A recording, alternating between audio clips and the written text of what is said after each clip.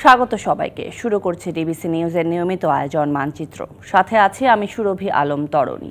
প্রতিদিন বিকাল সাড়ে পাঁচটায় এই আয়োজন নিয়ে আমরা থাকি আপনাদের সাথে। চেষ্টা করি সারা দেশের নানা সংকট সম্ভাবনার কথা জানাবার, কথা বলি আঞ্চলিক থেকে জাতীয় পর্যায়ে সংশ্লিষ্ট কর্তৃপক্ষের সাথে। তুলে ধরি মানুষের দুঃখ, দুর্দশা, আশা, নিরাশার কথা। লাগামহীন পেঁয়াজের দাম। পাইকারি থেকে খুচরা সব বাজারেই নিয়ন্ত্রণহীন। গত চার দিনের ব্যবধানে পেঁয়াজের দাম বেড়েছে কেজিতে কমপক্ষে দশ টাকা। এখন খুচরা পর্যায়ে দেশি পেঁয়াজ আশি থেকে পঁচাশি টাকা আর ভারতীয় আমদানি করা পেঁয়াজ পঞ্চান্ন থেকে ষাট টাকা কেজিতে বিক্রি হচ্ছে। বেশি বেড়েছে দেশীয় পেঁয়াজের দাম। বাজারে পেঁয়াজের মজুদ পর্যাপ্ত রয়েছে। আবার বাজারে আমদানি করা পেঁয়াজের চেয়ে দেশীয় পেঁয়াজের দাম বেড়েছে সবচেয়ে বেশি। ভারত থেকে পেঁয়াজ আমদানি বাধাগ্রস্ত হচ্ছে বলে জানিয়েছেন বিক্রেতারা। কিন্তু দেশীয় পেঁয়াজের দাম কেন বাড়ছে? এমন প্রশ্নের যথাযথ উত্তর দিতে পারছেন না বিক্রেতারা।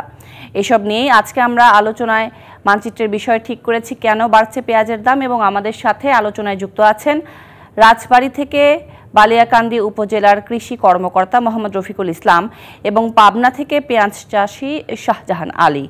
আমরা আজকের মানচিত্রের আলোচনায় আপনাদেরকে স্বাগত জানাচ্ছি। আমরা সম্ভবত এখন শুধুমাত্র পেঁয়াজ চাষি জনাব শাহজাহান আলী আপনাকে পেয়েছি এবং আপনার কাছেই জানতে চাইছি যে আমরা যেটা বলছিলাম যে বাজারে পেঁয়াজের পর্যাপ্ত মজুদ আছে, আবার দেশীয় পেঁয়াজের উৎপাদন ভালো, কিন্তু পাইকারি থেকে খুচরা সব দিক থেকেই নিয়ন্ত্রণহীন পেঁয়াজের বাজার।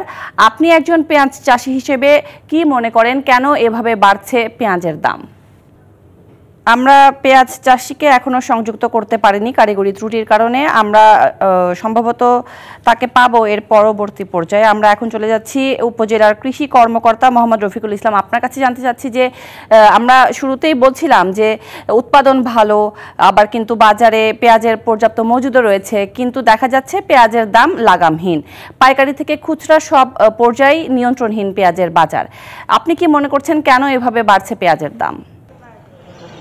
ধন্যবাদ আপনাকে যে আপনারা জানেন যে রাজবাড়ী জেলা এবং ফরিদপুর জেলা পেঁয়াজ চাষের জন্য অত্যন্ত উপযোগী এক উপজেলা এবং বালিয়াকান্দি উপজেলা তার মধ্যে শ্রেষ্ঠ উপজেলা যেখানে পেঁয়াজের আবাদ হয় বারো হাজার তিনশো হেক্টর এবং যার উৎপাদন, আমরা এই বছরে উৎপাদন হয়েছে এক লক্ষ সাতচল্লিশ হাজার মেট্রিক টন আবাদ হয়েছে। আপনারা জানেন যে পেঁয়াজ যখন হারভেস্ট হয়, ঠিক সেই সময় আমাদের একটা বৃষ্টি দেখা দিয়েছিল। এই বৃষ্টির কারণে তখন পেঁয়াজের দাম কিন্তু অনেক কম। যে কৃষকরা তখন বিক্রি করার জন্য হাহাকার একটা পর্যায়ে ছিল। ছয়শো থেকে সাতশো টাকা মন তারা কিন্তু বিক্রি করছিল। কিন্তু পরবর্তীতে আমাদের কৃষি মন্ত্রণালয় এবং কৃষি সম্প্রসারণ অধিদপ্তর, বিশেষ করে আমাদের কৃষি মন্ত্রী মহোদয়ের সার্বিক তত্ত্বাবধানে যে আমাদের যে এলসি তখন কিন্তু ভারত থেকে যে পেঁয়াজ আমদানি হয়, সেই এলসিটা কিন্তু তখন বন্ধ রাখা হয়েছিল এবং পেঁয়াজ কিন্তু যে কৃষক যে ন্যায্য মূল্য, তারপর কিন্তু পেঁয়াজ কৃষকরা ন্যায্য মূল্য পাইছিল এবং কৃষকরা চব্বিশশো থেকে সাতাশশো, আঠাশশো, এমনকি তিন হাজার টাকা মনেও বিক্রি করছিল। এবং আমাদের ভোক্তা যারা ছিল, এই ভোক্তা যখন ঊর্ধ্বগতি পেঁয়াজের কৃষক এদিকে প্রথমত কৃষক বৃষ্টির কারণে ক্ষতিগ্রস্ত হয়েছিল। দ্বিতীয়ত, যখন কৃষকদের কথা চিন্তা করা হয়েছিল, তখন কিন্তু এলসি বন্ধ করে দিয়ে পেঁয়াজের দাম কিন্তু একটু বেড়ে গেছিল।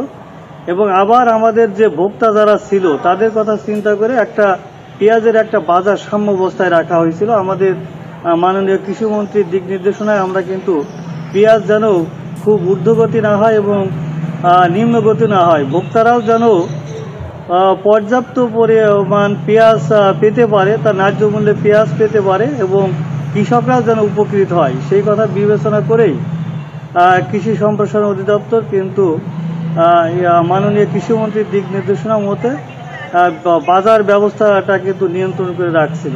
এবং সেই অবস্থা কিন্তু এখনও চলমান আছে। জি মোহাম্মদ রফিকুল ইসলাম যে আমদানির খবরে কিন্তু পেঁয়াজের দাম কিছুটা লাগাম টেনে রাখা গিয়েছিল। কিন্তু এখন যে আবারও নতুন করে পেঁয়াজের দাম বাড়ছে এর পেছনে কি কারণ বলে আপনি মনে করেন?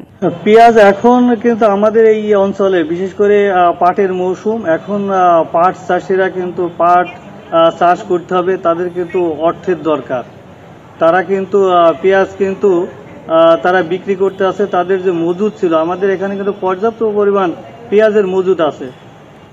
এবং তারা কিন্তু এখন এই পেঁয়াজ বিক্রি করে তারা কিন্তু পাট চাষ করবে।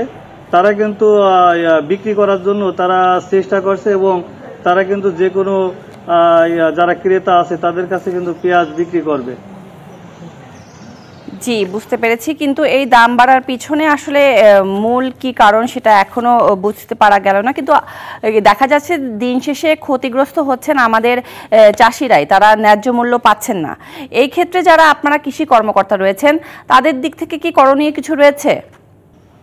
আমরা মনে করি যে পেঁয়াজের যে বাজার দর আছে, আমি কৃষকদের ক্ষেত্রে আমরা সবসময় কৃষকের পাশে আছি, কৃষকের সাথে কাজ করি। এক বিঘা পেঁয়াজ উৎপাদন করতে দেখা যাচ্ছে বারোশো থেকে তেরোশো টাকা খরচ হয়ে যায়। তারা এক মন যদি পেঁয়াজ উৎপাদন করে, তার উৎপাদন খরচ বারোশো থেকে তেরোশো টাকা খরচ হয়। যদি কৃষক যদি ষোলোশো থেকে দু হাজার টাকা পর্যন্ত বিক্রি করতে পারে, আমি মনে করি ওই কৃষক পেঁয়াজ চাষ করে লাভবান হয়। তো পেঁয়াজের যে বাজার দর আছে যে দরটা আছে কৃষক, কিন্তু আমার কৃষক ভাইরা কিন্তু মূলত তারা স্যাটিসফাই সন্তুষ্ট যে কৃষক তাদের যে লাভের আশা করে, সেই লাভটা কিন্তু তারা কিন্তু পাচ্ছে। জি, মোহাম্মদ রফিকুল ইসলাম, ধন্যবাদ আপনার মতামতের জন্য। আপনি থাকবেন আমাদের সাথে, আমরা একটি বিরতির পরে আবারও ফিরবো আপনার কাছে। স্বাগত আরেকবার মানচিত্রে। আজ মানচিত্রে আমরা আলোচনা করছি লাগামহীন পেঁয়াজের দাম এই প্রসঙ্গে এবং এ পর্যায়ে আমি আবারও প্রথমে উপজেলা কৃষি, বালিয়াকান্দি উপজেলা কৃষি কর্মকর্তা মোহাম্মদ রফিকুল ইসলাম আপনার কাছে জানতে চাচ্ছি। আপনি বির- বিরতিতে যাবার আগে বলছিলেন যে উৎপাদন, পেঁয়াজ উৎপাদন করার সময় বৃষ্টি বাগড়া হয়েছিল, সেই জন্য হয়তো দাম বৃদ্ধি হতে পারে। তো উৎপাদন খরচ অনুযায়ী কি তাহলে এখন দাম বৃদ্ধি পাচ্ছে বলবেন আপনি? উৎপাদন খরচ অনুযায়ী আসলেই যে দামটা আছে, আসলেই দাম বেশি আছে। তো আমরা কৃষি বিভাগ যে কাজ করে আপনি, আমরা বিরতির আগে যে কথা বলছিলাম, যে আমাদের এখানে যে উৎপাদনের যে লক্ষ্যমাত্রা ছিল, বারো হাজার তিনশো হেক্টর আমার বালিয়াকান্দি উপজেলায়, আমার বিভিন্ন ইউনিয়ন, জামালপুর, বহরপুর, নবাবপুর, নারুয়া, সব জায়গায় যে লক্ষ্যমাত্রা ছিল, আমাদের ব্লক ভিত্তিক লক্ষ্যমাত্রা এই লক্ষ্যমাত্রা কিন্তু আমরা উৎপাদন করতে পেরেছি। আমার এখানে এক লক্ষ সাতচল্লিশ হাজার মেট্রিক টন পেঁয়াজ উৎপাদন হয়েছে। আমার কৃষি সম্প্রসারণ অধিদপ্তরের আমার কাজ হচ্ছে আপনার এই উৎপাদনের যে লক্ষ্যমাত্রা থাকে, কৃষকদেরকে উদ্বুদ্ধ করার মাধ্যমে এই লক্ষ্যমাত্রা যেন অর্জন করা। এবং আমরা সেই লক্ষ্যমাত্রা কিন্তু অলরেডি অর্জন করে ফেলেছি। জি, ধন্যবাদ মোহাম্মদ রফিকুল হক। এ পর্যায়ে আমরা পেয়েছি আমাদের সহকর্মী মুজিবুল হক আপনাকে। এবং মুজিবুল হক, আপনার কাছে একটু জান- জানতে চাইব যে আজকের পেঁয়াজের বাজার দর পরিস্থিতি কেমন দেখলেন? এছাড়াও খাতুনগঞ্জ যেহেতু একটি বড় পাইকারি বাজার এবং সেখান থেকে বিশেষ করে সারা দেশেই পেঁয়াজ যায়। তো এই ক্ষেত্রে এখন যেহেতু সম্প্রতি বন্যা কবলিত হলো চট্টগ্রাম এই ক্ষেত্রে বন্যা কোনো প্রভাব বিস্তার করেছে কি? পেঁয়াজের দাম বৃদ্ধির ক্ষেত্রে? তরণী চট্টগ্রামেও পেঁয়াজের যে দাম, সেটিও কিন্তু সেন্সুরির পথে। অর্থাৎ সারা দেশের মতো চট্টগ্রামও কিন্তু একই চিত্র। আমরা দেখেছি খুচরা পর্যায়ে যে দাম পাইকারি তো প্রায় প্রায় কাছাকাছি দাম। আপনি বলছিলেন চট্টগ্রামের যে খাতুনগঞ্জ এলাকা বা চাকতায় খাতুনগঞ্জ, এই দেশের ভোগ্যপণ্যের সবচেয়ে একটি বড় বাজার। আমরাও জানি যে এই যে দেশের একটি বড় ভোগ্যপণ্যের বাজার চাকতায় খাতুনগঞ্জ, এখান থেকে কিন্তু পেঁয়াজ, আদা, রসুন, এই এটির এক প্রকার বাজার নিয়ন্ত্রিত হয়। তবে স্বস্তির কথা হলো, এবার যে বন্যা বা জলাবদ্ধতা, সেখানে চট্টগ্রামে যে খাতুনগঞ্জ, সেই খাতুনগঞ্জে তেমন একটা জলাবদ্ধতা হয়নি। ফলে পেঁয়াজের ক্ষতি হওয়া বা পেঁয়াজের সারা দেশে সরবরাহ যে প্রভাব পড়া, সেটি তেমন একটা পড়েনি। এখান, এই চিত্র থেকে ধারণা করা যাচ্ছে এখানে একটা বড় ধরনের কারসাজির একটা চিত্র আছে ব্যবসা- ব্যবসায়ীদের ক্ষেত্রে। বিশেষ করে চট্টগ্রামের যে যেসব খাতুনগঞ্জ চাকটায় খাতুনগঞ্জ এলাকায় পেঁয়াজের বৃহৎ একটা পাইকারিদের পাইকারদের একটা অংশ এখানে বাজার নিয়ন্ত্রণ করে থাকে। ফলে সার্বিকভাবে দেশেও এই যখন তারা নিয়ন্ত্রণটা করে অথবা দামের দাম নিয়ে যখন কারসাজিটা করে, তখন সেই চাপ বা সেই চিত্র কিন্তু আমরা সারা দেশে সেই প্রভাবটা পড়তে দেখি। এর আগে আমরা দেখেছি যখন ভারত থেকে পেঁয়াজ আমদানি বন্ধ ছিল, তখন দেশের দেশের যে পেঁয়াজ, সেটি যখন হু হু করে বাড়তে থাকে, ঠিক পরক্ষণেই যখন ভারতের পেঁয়াজ আসতে শুরু করে আবার সাথে সাথে কিন্তু দেশের বাজারের পেঁয়াজও কিন্তু সাথে সাথে দাম কমিয়ে ফেলা কমিয়ে ফেলা হয়। অর্থাৎ ভারত থেকে পেঁয়াজ আমদানির খবর হয়, এর আগে থেকে কিন্তু দেশে পেঁয়াজের যে বাজার দর সেটি কমে যায়। সব পিনে সার্বিকভাবে যে চিত্র, সেটি হচ্ছে শুধুমাত্র যে আমদানি হয় সেটির উপর নির্ভর করে দেশের বাজারের যে দাম সেটি নির্ধারিত হয় অথবা সেটিতে বাজার নিয়ন্ত্রিত হয় তেমন এক তেমনটা না। সার্বিক চিত্র হলো এই অংশটাতে একটা সিন্ডিকেট বা বরাবরই একটা উঠে এলো সেই সিন্ডিকেট বাণিজ্যের কথাই। তাহলে সিন্ডিকেট বাণিজ্য ভাঙতে বা বাজারজাতকরণে বাজারজাতকরণে কোনো ধরনের গলদ আপনার চোখে পড়েছে কিনা? সব মিলে আহ, সব মিলিয়ে বন্দর নগরীতেও কিন্তু একই ধরনের চিত্র আমরা দেখছি। জি মুজিবুল হক আরেকটি জিনিস জানতে চাচ্ছি যে আপনার কথাতেই উঠে এলো যে সেই সিন্ডিকেট বাণিজ্য এবং সেই সাথে আমরা আরেকটি জিনিস যে লক্ষ্য করছি সেটি হচ্ছে বাজারজাতকরণে কোনো প্রভাব আছে কিনা? আমি আগে বলছিলাম যেহেতু চট্টগ্রামে পেঁয়াজ আসলে সেভাবে উৎপাদন হয় না দিনাজপুর দিনাজপুর দিনাজপুর সহ দিনাজপুর, রংপুর সহ উত্তরাঞ্চলের বিভিন্ন জায়গা, জেলা থেকে পেঁয়াজ আসে। পাশাপাশি একটা বৃহৎ অংশ কিন্তু পূরণ করে ভারতের পেঁয়াজ। চট্টগ্রামের এই যে পেঁয়াজের যে চাহিদা, সেই চাহিদার প্রায় শতভাগই কিন্তু আমদানি করা হয়। সেটা হোক ভারত অথবা অন্যান্য জেলা থেকে। ফলে আমরা যখন দেখি যে ভারত এবং অন্যান্য পেঁয়াজগুলোর দাম বাড়ে, চট্টগ্রামে কিন্তু এর প্রভাব অনেক বেশি পড়ে। কারণ আমদানিকারকদের একটা বৃহৎ অংশ চট্টগ্রাম কেন্দ্রিক এবং চাকতাই খাতুনগঞ্জ এলাকা কেন্দ্রিক। এবং এই পেঁয়াজ এখানে আসার পরে সারা প্রায় মোটামুটি সারা দেশেই যায়। সেক্ষেত্রে এই যে প্রভাব অথবা চাকতাই খাতুনগঞ্জের যে প্রভাব সেটি কিন্তু সারা দেশে পড়তে শুরু করে।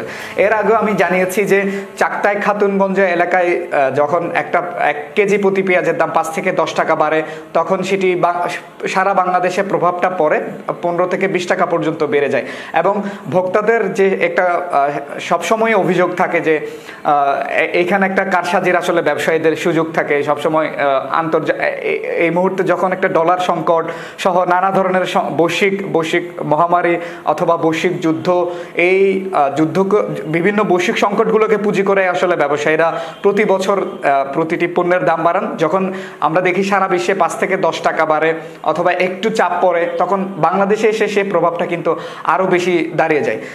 যেটি জানাচ্ছিলাম চট্টগ্রামের পরিস্থিতি, চট্টগ্রামেও এখন সারা দেশের মতো আসলে শতকের কাছাকাছি কাজ কাছাকাছি হয়ে দাঁড়িয়ে কাছাকাছিতে পৌঁছেছে কেজি প্রতি পেঁয়াজের দাম এবং তাহলে মুজিবুল হক দেখা যাচ্ছে যে বাজার নিয়ন্ত্রণ করছে তো মধ্যস্বত্বভোগী বা ব্যবসায়ীরাই? তরণে এক্ষেত্রে ব্যবসায়ীদের দায় অবশ্যই আছে। যেহেতু হচ্ছে একটা বৃহৎ বাজারের বাজারের একটি অংশ চট্টগ্রামের ব্যবসায়ীরা নিয়ন্ত্রণ করে। ফলে যখনই আসলে দাম কমে যায় অর্থাৎ দেশের বিভিন্ন জায়গায় দাম কমে তখন তারা একটি বৃহৎ অংশকে আসলে তারা তারা মজুদ করে ফেলে। যখন এই সংকট হয় সেই সংকটকে পুঁজি করে দাম বাড়ানোটাকে পুঁজি করে তারা সারা দেশেই এই আসলে অস্থিরতার জায়গাটা আসলে তৈরি করে। আহ, জি বুঝতে পেরেছি। মুজিবুল হক ধন্যবাদ আপনাকে আমাদের সাথে যুক্ত হবার জন্য এবং মোহাম্মদ রফিকুল ইসলাম আপনাকেও ধন্যবাদ আমাদের মানচিত্রে আজকে সময় দেওয়ার জন্য। দর্শক ছিল আজকের মানচিত্রের আয়োজনে ডিবিসির সঙ্গেই থাকুন।